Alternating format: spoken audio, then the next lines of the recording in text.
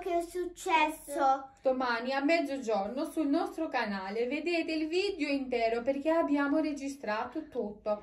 Come Grinch entra su casa nostra e rovina tutto. tutto è tutto per terra tutto rovinato Più la stellina non c'è più. Eh.